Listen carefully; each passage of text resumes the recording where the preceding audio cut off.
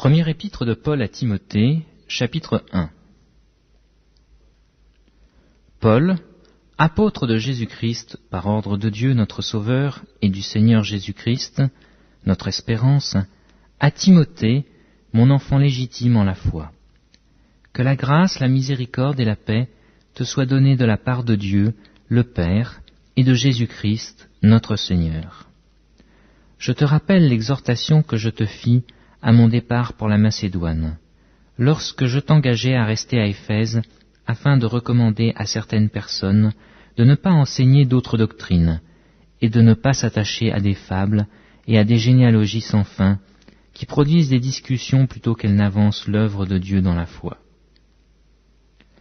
Le but du commandement, c'est une charité venant d'un cœur pur, d'une bonne conscience et d'une foi sincère.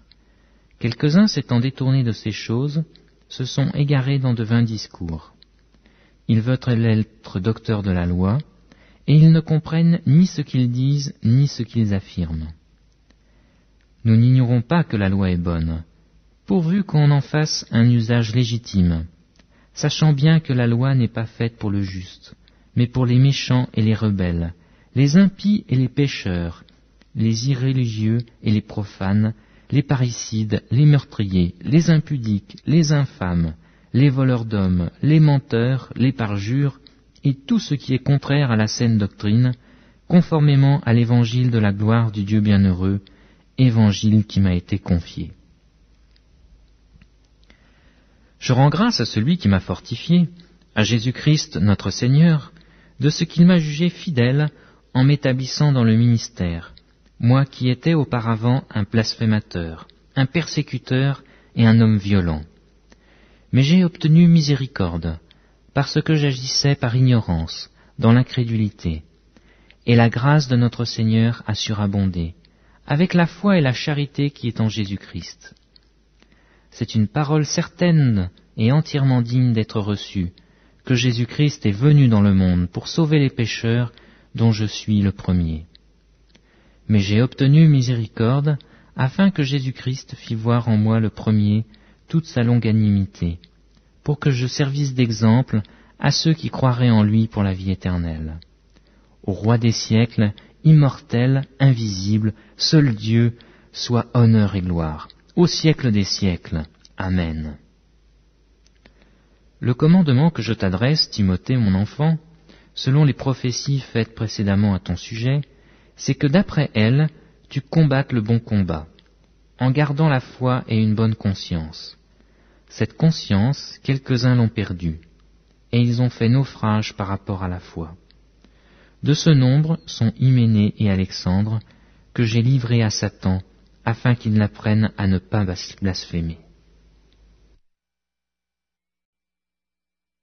Premier épître de Paul à Timothée, chapitre 2 J'exhorte donc, avant toute chose, à faire des prières, des supplications, des requêtes, des actions de grâce pour tous les hommes, pour les rois et pour tous ceux qui sont élevés en dignité, afin que nous menions une vie paisible et tranquille, en toute piété et honnêteté. Cela est bon et agréable devant Dieu notre Sauveur, qui veut que tous les hommes soient sauvés et parviennent à la connaissance de la vérité. Car il y a un seul Dieu, et aussi un seul médiateur entre Dieu et les hommes, Jésus-Christ, homme, qui s'est donné lui-même en rançon pour tous. C'est là le témoignage rendu en son propre temps, et pour lequel j'ai été établi prédicateur et apôtre. Je dis la vérité en Christ, je ne mens pas, chargé d'instruire les païens dans la foi et la vérité. Je veux donc que les hommes prient en tout lieu, en élevant des mains pures, sans colère ni mauvaise pensée. Je veux aussi que les femmes, vêtues d'une manière décente, avec pudeur et modestie, ne se parent ni de tresses, ni d'or, ni de perles, ni d'habits somptueux, mais qu'elles se parent de bonnes œuvres, comme il convient à des femmes qui font profession de servir Dieu. Que la femme écoute l'instruction en silence, avec une entière soumission, je ne permets pas à la femme d'enseigner, ni de prendre de l'autorité sur l'homme, mais elle doit demeurer dans le silence. Car Adam a été formé le premier, Ève ensuite. Et ce n'est pas Adam qui a été séduit, c'est la femme qui, séduite, s'est rendue coupable de transgression. Elle sera néanmoins sauvée en devenant mère, si elle persévère avec modestie dans la foi, dans la charité et dans la sainteté. Premier épître de Paul à Timothée, chapitre 3 Cette parole est certaine. Si quelqu'un aspire à la charge d'évêque, il désire une œuvre excellente. Il faut donc que l'évêque soit irréprochable, mari d'une seule femme, sobre, modéré, réglé dans sa conduite, hospitalier, propre à l'enseignement. Il faut qu'il ne soit ni adonné au vin, ni violent, mais indulgent, pacifique, désintéressé. Il faut qu'il dirige bien sa propre maison, et qu'il tienne ses enfants dans la soumission et dans une parfaite honnêteté. Car si quelqu'un ne sait pas diriger sa propre maison, comment prendra-t-il soin de l'Église de Dieu? Il ne faut pas qu'il soit un nouveau converti, de peur qu'enflé d'orgueil, il ne tombe sous le jugement du diable. Il faut aussi qu'il reçoive un bon témoignage de ceux du dehors, afin de ne pas tomber dans l'opprobre et dans les pièges du diable.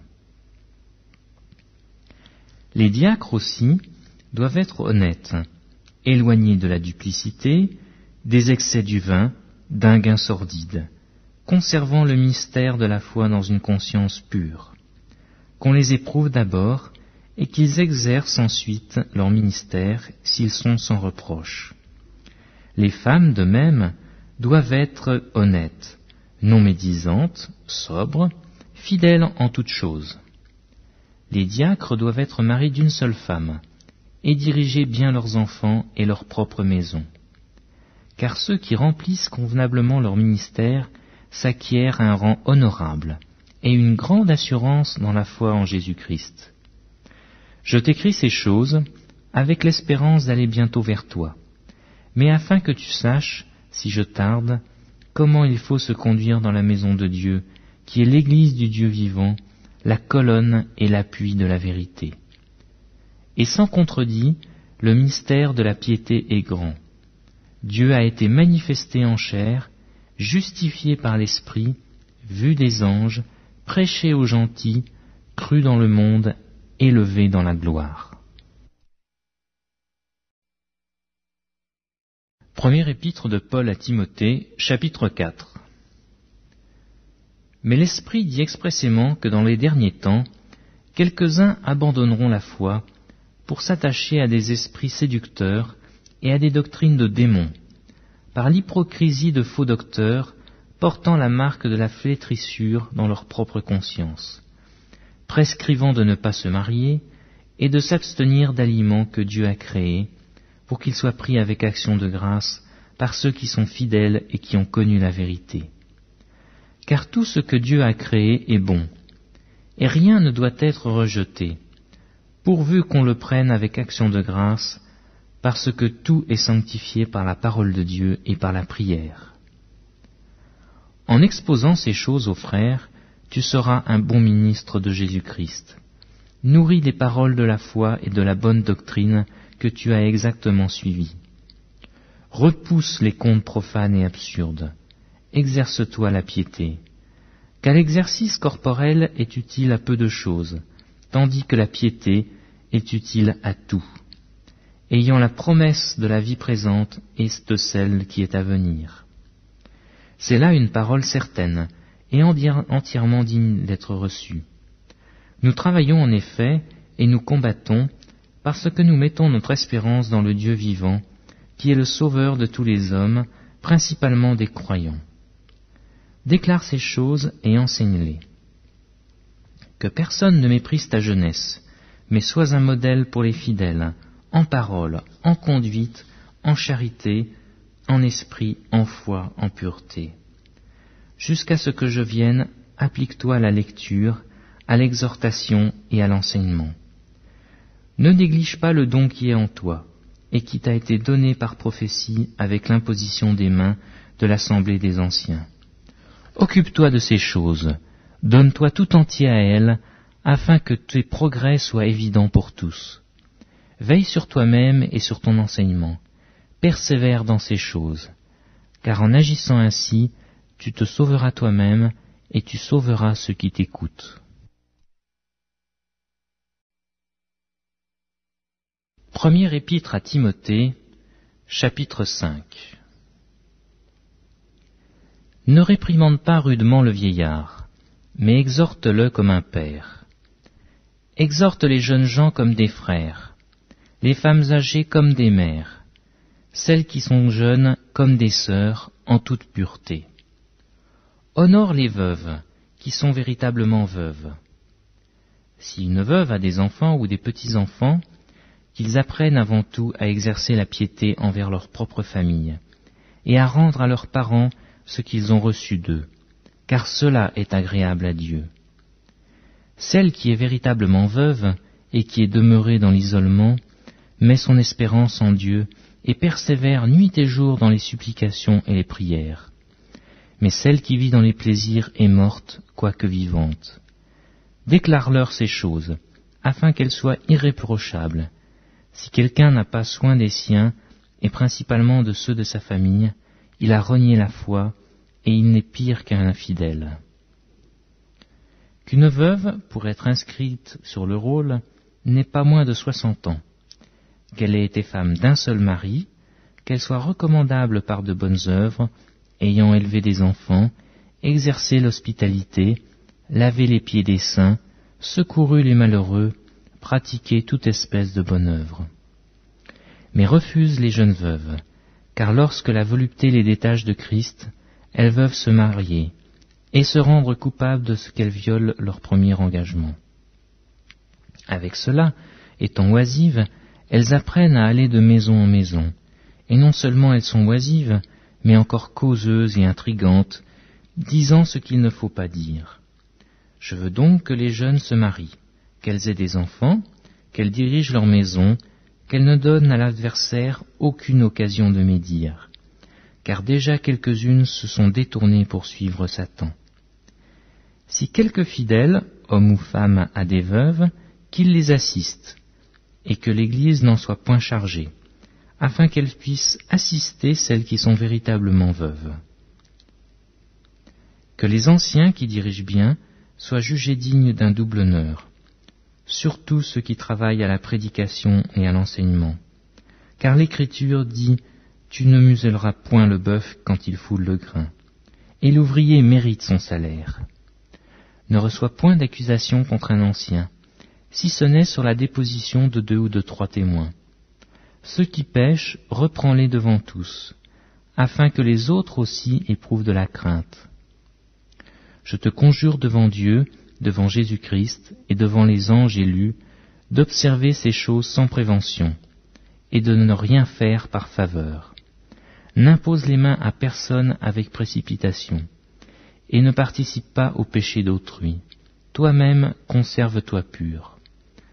Ne continue pas à boire que de l'eau, mais fais usage d'un peu de vin, à cause de ton estomac et de tes fréquentes indispositions. Les péchés de certains hommes sont manifestes, même avant qu'on les juge, tandis que chez d'autres, ils se découvrent que dans la suite. De même, les bonnes œuvres sont manifestes, et celles qui ne le sont pas ne peuvent rester cachées.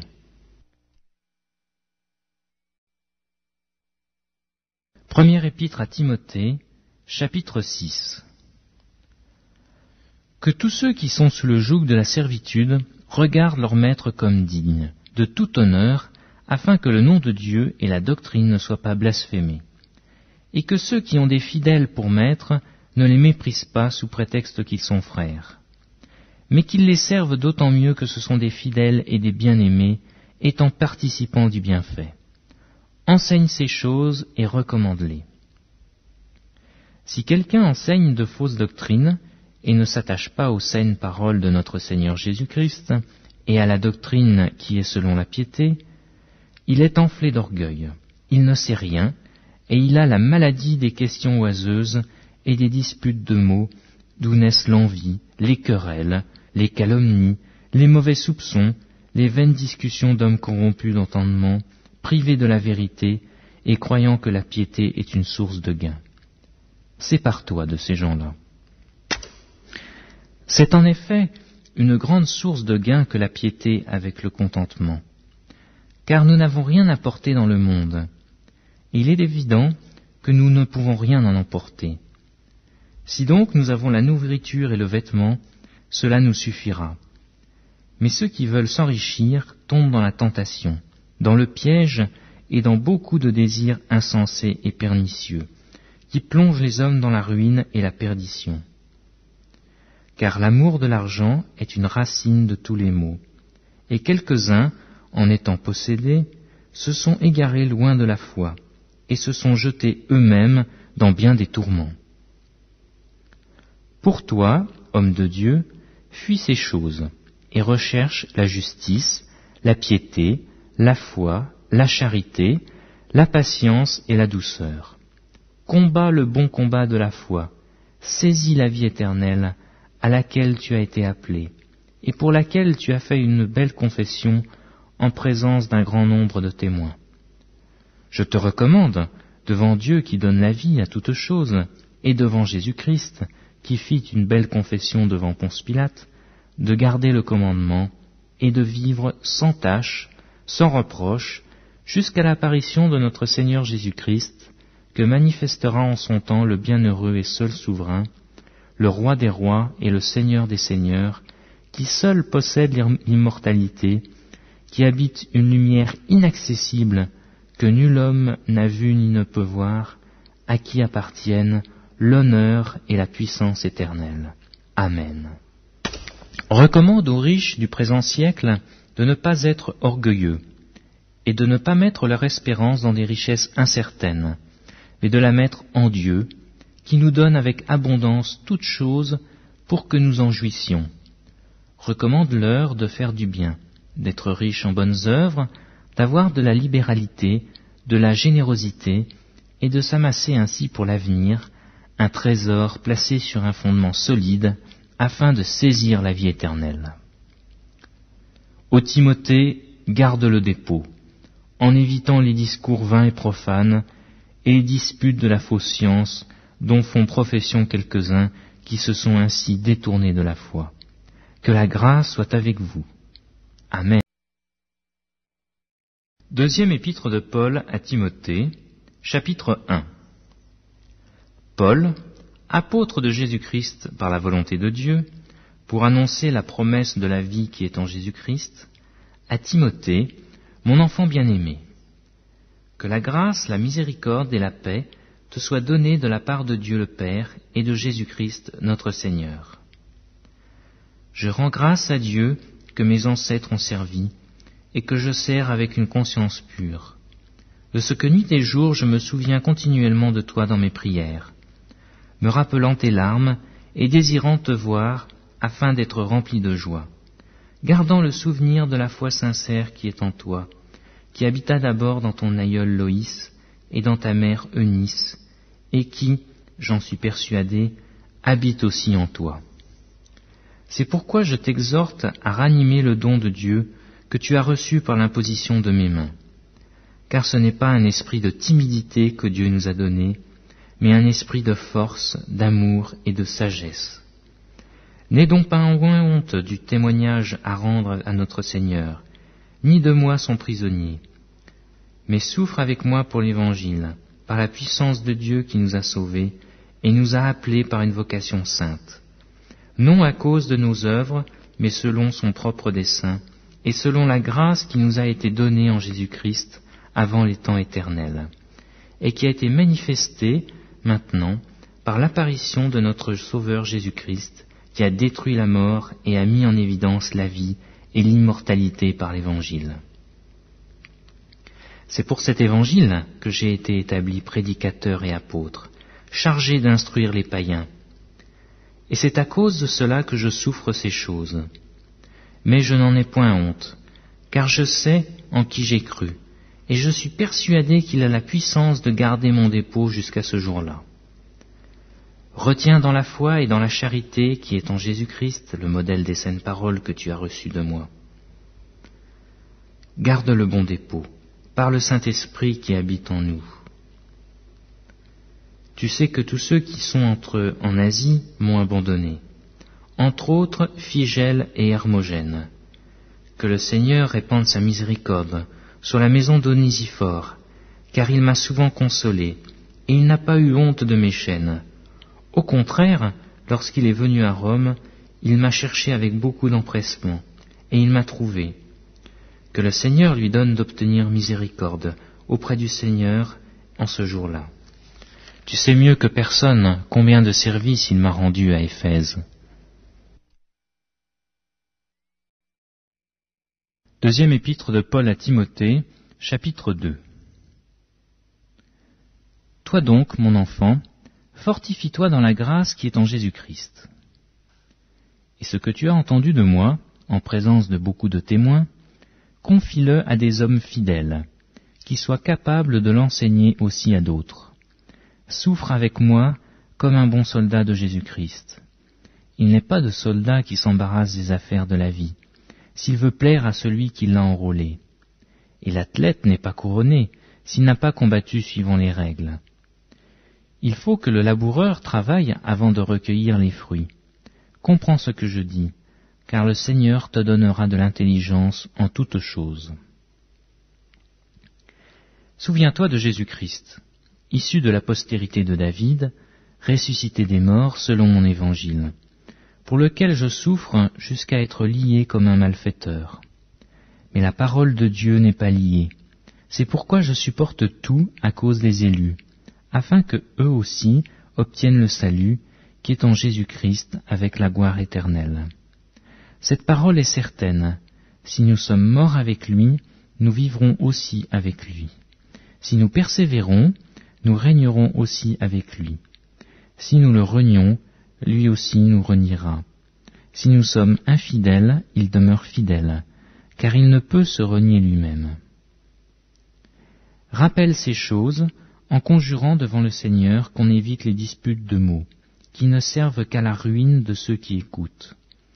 Efforce-toi de te présenter devant Dieu comme un homme éprouvé, un ouvrier qui n'a point à rougir, qui dispense droitement la parole de la vérité.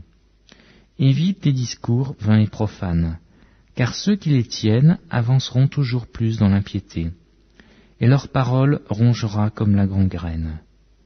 De ce nombre, sont Hyménée et Philette, qui se sont détournés de la vérité, disant que la résurrection est déjà arrivée et qui renverse la foi de quelques-uns. Néanmoins, le solide fondement de Dieu reste debout, avec des paroles qui lui servent de sceau. Le Seigneur connaît ceux qui lui appartiennent, et quiconque prononce le nom du Seigneur, qu'il s'éloigne de l'iniquité. Dans une grande maison, il n'y a pas seulement des vases d'or et d'argent, mais il y a aussi du bois et de terre. Les uns sont des vases d'honneur, et les autres sont d'un usage vil. Si donc quelqu'un se conserve pur, en s'abstenant de ces choses, il sera un vase d'honneur, sanctifié, utile à son maître, propre à toute bonne œuvre.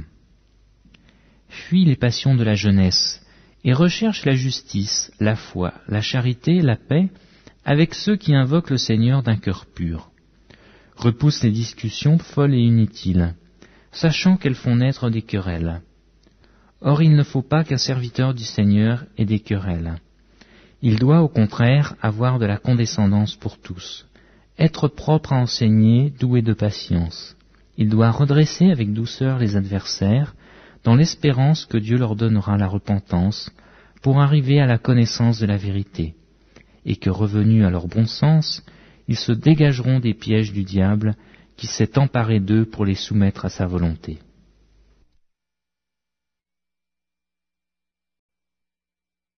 Deuxième épître à Timothée, chapitre 3 Sache que dans les derniers jours il y aura des temps difficiles, car les hommes seront égoïstes, amis de l'argent, fanfarons, hautains, blasphémateurs, rebelles à leurs parents, ingrats, irréligieux, insensibles, déloyaux, calomniateurs, intempérants, cruels, ennemis des gens de bien, traîtres, emportés, enflés d'orgueil, aimant le plaisir plus que Dieu, ayant l'apparence de la piété, mais reniant ce qui en fait la force. Éloigne-toi de ces hommes-là. Il en est parmi eux qui s'introduisent dans les maisons, et qui captivent des femmes d'un esprit faible et borné, chargées de péché, agitées par des passions de toute espèce, apprenant toujours et ne pouvant jamais arriver à la connaissance de la vérité. De même que Jeannès et Jambres s'opposèrent à Moïse, de même ces hommes s'opposent à la vérité, étant corrompus d'enseignement, réprouvés en ce qui concerne la foi. Mais ils ne feront pas plus de grands progrès, car leur folie sera manifeste pour tous, comme le fut celle de ces deux hommes. Pour toi, tu as suivi de près mon enseignement, ma conduite, mes résolutions, ma foi, ma douceur, ma charité, ma constance, mes persécutions, mes souffrances. À quelles souffrances n'ai-je pas été exposé à Antioche, à Icône, à Lystre? Quelles persécutions n'ai-je pas supportées Et le Seigneur m'a délivré de toutes. Or tous ceux qui veulent vivre pieusement Jésus-Christ seront persécutés.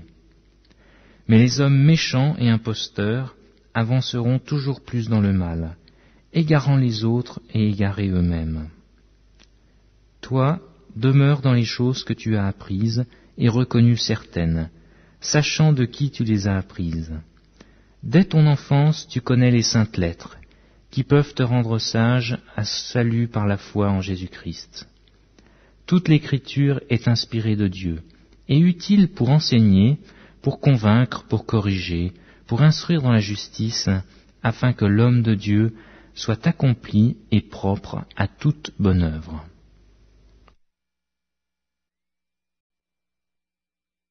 Deuxième épître à Timothée, chapitre 4 Je t'en conjure devant Dieu et devant le Seigneur Jésus-Christ, qui doit juger les vivants et les morts, et au nom de son apparition et de son royaume, prêche la parole, insiste en toute occasion, favorable ou non, reprend, censure, exhorte, avec toute douceur et en instruisant. Car il viendra un temps où les hommes ne supporteront pas la saine doctrine. Mais ayant la démangeaison d'entendre des choses agréables, ils se donneront une foule de docteurs selon leurs propres désirs, détourneront l'oreille de la vérité et se tourneront vers les fables. Mais toi, sois sobre en toutes choses. Supporte les souffrances, fais l'œuvre d'un évangéliste, remplis bien ton ministère. Car pour moi, je sers déjà de libation, et le moment de mon départ approche. J'ai combattu le bon combat, j'ai achevé la, course, j'ai gardé la foi. Désormais, la couronne de justice m'est réservée. Le Seigneur, le juste juge, me la donnera dans ce jour-là, et non seulement à moi, mais encore à tous ceux qui auront aimé son avènement. Viens au plus tôt vers moi, car Démas m'a abandonné par amour pour le siècle présent, et il est parti pour Thessalonique. Cressin s'est allé en Galatie, Tite en Dalmatie. Luc seul est avec moi. Prends Marc et amène-le avec toi, car il m'est utile pour le ministère. J'ai envoyé Tichique à Éphèse. Quand tu viendras, apporte le manteau que j'ai laissé à Troas, chez Carpus, et les livres, surtout les parchemins. Alexandre, le forgeron, m'a fait beaucoup de mal. Le Seigneur lui rendra selon ses œuvres. Garde-toi aussi de lui, car il s'est fortement opposé à nos paroles. Dans ma première défense, personne ne m'a assisté, mais tous m'ont abandonné. Que cela ne leur soit point imputé. Le Seigneur qui m'a assisté et qui m'a fortifié, afin que la prédication fût accomplie par moi et que tous les païens, tous les païens l'entendissent et j'ai été délivré de la gueule du lion. Le Seigneur me délivrera de toute œuvre mauvaise, et il me sauvera pour me faire entrer dans son royaume céleste. À lui soit la gloire au siècle des siècles. Amen. Salut Prisca et Aquilas, et la famille d'Onésiphore.